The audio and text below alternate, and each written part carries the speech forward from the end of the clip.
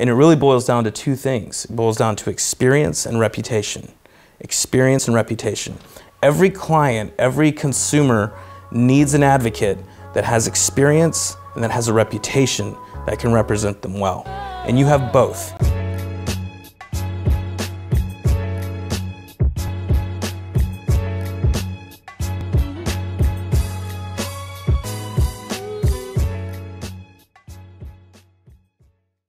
One of our lender, lending team members uh, was taking an application, I believe.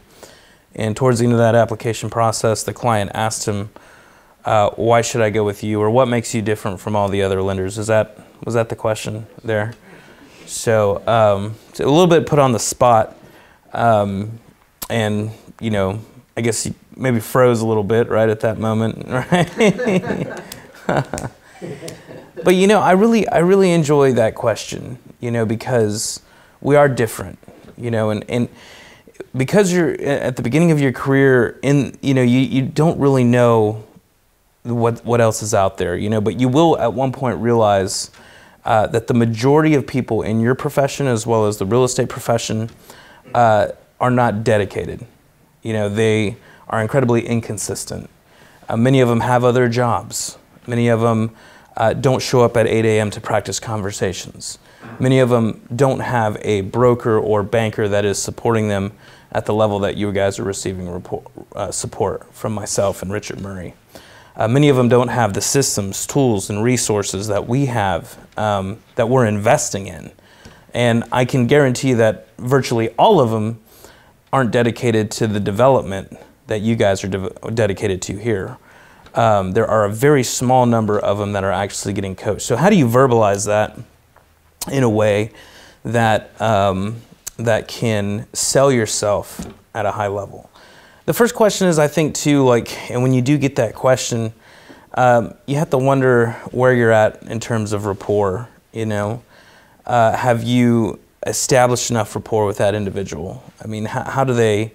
Uh, how how friendly are they with you? How how deep have you dug with them? Um, and in most cases, when you're getting that question, it's probably still on the surface because they don't really know you from Adam.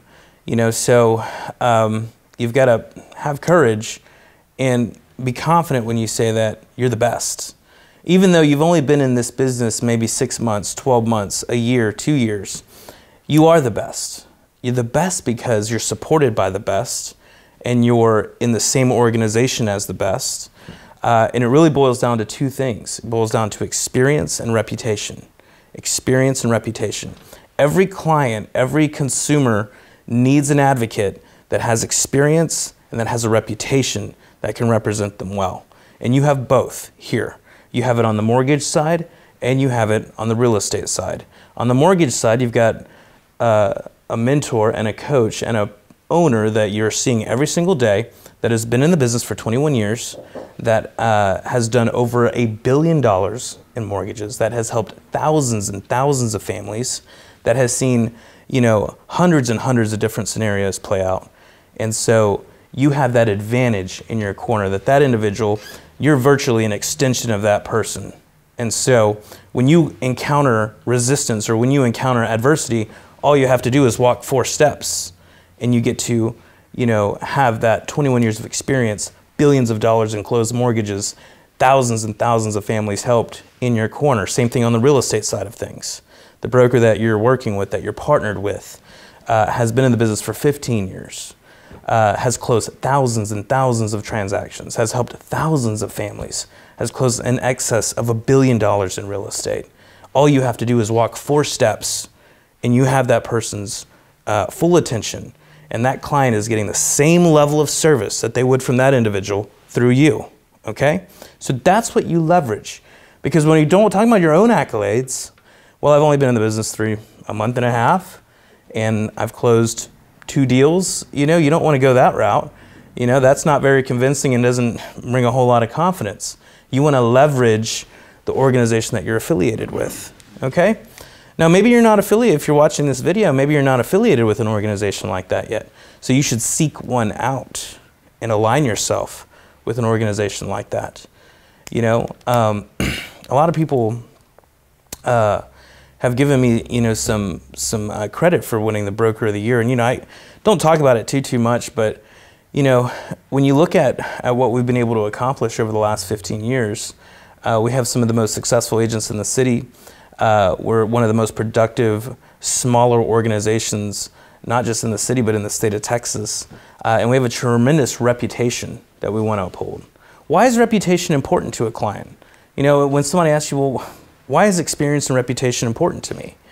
Well, Mr. or Mrs. Buyer, right now you're in a market that is incredibly competitive. And you need, you need every advantage that you can possibly have to win in multiple offer situations. And if I'm a seller, okay, and I'm considering your offer plus 10 others, and I see that the mortgage company that you have, have decided to get pre-qualified with is a, is a reputable mortgage company that I'm experienced with. Oh, I've closed a deal with Richard before. Oh, I closed a deal with Expedient Mortgage last week. I feel good about them. Oh, they're being represented by an AE realtor. Those are some of the most professional real estate uh, um, people that I've ever worked with, you know? So all of a sudden, I'm looking at your offer in a lot more light versus Wells Fargo, who we all know have a terrible reputation in the mortgage business, and a no-name realtor that I've never heard about from a different city, you know? Which offer do you think is going to be looked at more favorably uh, in a multiple offer situation? Okay? Experience and reputation are the most important things to the, to the client and to the consumer. Okay? And so when you get that question, appreciate it. Appreciate it because that's your time to shine. That's your time to really uh, distinguish yourself. Okay? Once you start to understand more about our processes, uh, you will be able to, you know, explain more about the systems that we have, explain more about the tools and resources that we have at our disposal. Um, you know, uh, Stephen here is, is working on the listing side of things. When we go into the listing appointment, many times we're competing against, you know, 10, 12 other realtors. And so these days it's easy to sell your house. So why should I use you or you or you when it's pretty much, I could even do it myself, right? So we have to do a very convincing um, presentation and show people that no, if you work with us, you will make more money. You will uh, sell your home in less time. You will have an overall uh, better experience. Okay, and that's because of our understanding of how to market properties, our ability to negotiate effectively, okay, our experience and our reputation. All right? So it boils down to those two things. That's what people need and want. They need experience, uh, they want reputation because you're essentially uh, the person that is representing. I mean, John Smith that wants to buy a house, nobody's ever heard of John Smith, you know, but they've heard of Richard Murray, they've heard of Carl Bishop. So leverage that. Leverage that every opportunity you get. And that, take it a step further and invite them into the office so we can talk to them personally. So we can spend 15 minutes with them and talk to them personally. The owner of the company wants to meet you. The owner of Expedient Mortgage would love to sit down with you, you know, because it's important. We want to earn your business, okay? We want to apply for the job. We don't expect you to use us just because you found us online or because somebody even recommended us, okay? We want to apply for the job. We want to earn your business. We want to add value to you, whether you end up using us or not, okay? And if you take that approach in life and, and encourage people, say, you know what, you should get a second opinion because, you know, it's a smart decision, but that you will also see the differences when you get that second opinion. You will, you will start to see the distinguishing factors between our organization and theirs, between my professionalism and theirs, between my experience and reputation and theirs. Okay? Look us up. Encourage them to do some research. Okay? Check us out on Google. Look us up on Zillow. Okay? Look us up on uh, Facebook. I mean, look us up. Do some research. Don't just take my word for it please uh, do a little research on us, and you'll be very pleased with what you found. It took decades to develop what we have here, decades. And so it's a very powerful, powerful, um, you know, reputation and experience that we've created here. And so just verbalize that uh, and be confident when you do. You can confidently say that I'm the best person for you to work with in this city and in this state, in this world okay? Because even though I may not be the most experienced, I have the most experienced in my corner, and they're within arm's reach, and I have them uh, anytime I have a question, anytime you have a concern, anytime we have an issue, you're going to get the very best, the absolute highest level of professionalism, the absolute highest level of experience and reputation. Okay? So remember those two things next time you get that question experience and reputation. You know, and, and and you know, it'll get easier as time goes by, but you know, embrace that opportunity because that's an intelligent person. That's a person that, you know, realizes that they have options. And you know, you, you've got to be that person uh, that jumps to that opportunity and says, Well, let me tell you why you want to work with me. Okay? Experience and reputation. Okay? Those are two things that'll help you win in this environment. You need that to win in this environment. You need every advantage that you can possibly have in this incredibly competitive environment.